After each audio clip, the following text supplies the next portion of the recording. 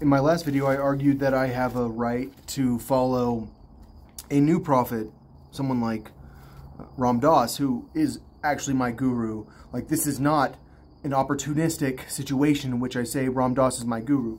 Ram Dass was actually my guru. Like, he is who I followed. So I said that, um, but the, the re reality is that my religion's very old. If you go to Italy, this sculpture is there. Moses with the horns. Because we're Satanists. We really are. It's like it's like a joke, but it's not. And we have that right to be Satanists. We have we have do we have the oldest religion? We invented all the religions. Like when the Bible describes Moses describes Moses with horns, I think that's Exodus. Yeah, that's pretty old. So um, I looked it up, and there are some definitions of religion according to the Oxford Dictionary, which is uh, the first one is the belief in and worship of a superhuman controlling power, especially a personal god or gods. So um, I don't have to believe in a theist god. I just have to believe in a superhuman controlling power. Oh yeah, trust me. These superhumans, the reason they're superhuman is because they have technology. Um, man, they really do like to control me. You wouldn't believe the things they do to control me. But I, just, I don't think that's a good definition of religion. Um, probably a better one is this one, a pursuit or interest to which someone ascribes supreme importance. But that one's kind of, that's not enough of a definition. I looked it up and Wikipedia has a lot better definition.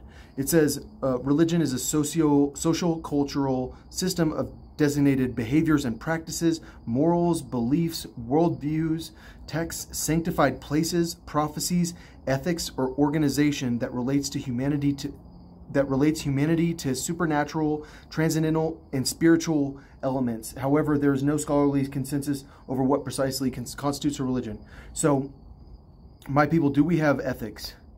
Oh, trust me, uh, you would not be in the inner circle of my religion if you didn't have certain ethics because we just kick you out. Like you would not. Like trust me, you, we can kick people out. And um, like so, do we have um, sanctified places? There are definitely important places to us because of um, like our ancestors, which are us. You know, if we believe that, if certain people believe that we people were cloned, um, then like places that were important to us in the past are still important to us now. Um, do we have texts? Secret texts that no one gets to read. Do we have morals and beliefs? Yes, we do. We have a lot of beliefs, and um, one of those beliefs involves um, the use of psychedelic drugs um, at certain times in your life um, for um, seeking enlightenment. Um, so, do we believe in supernatural stuff? Uh, we behave like supernatural people. Do we believe in like an origin story of our religion that is kind of like almost um, impossible. You know, like um, people traveling across the galaxy and um, seeking out new places to um, just where they can survive and, and then moving there. Um, we do have, we, we very much have a, it's a religion, bottom line.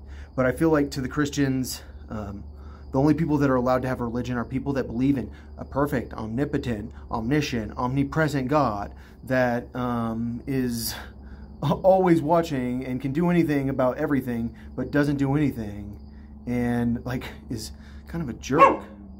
Um, I don't know. I don't. I don't understand why. We, like I can't have freedom of religion. It's because people hate drugs that much. I think.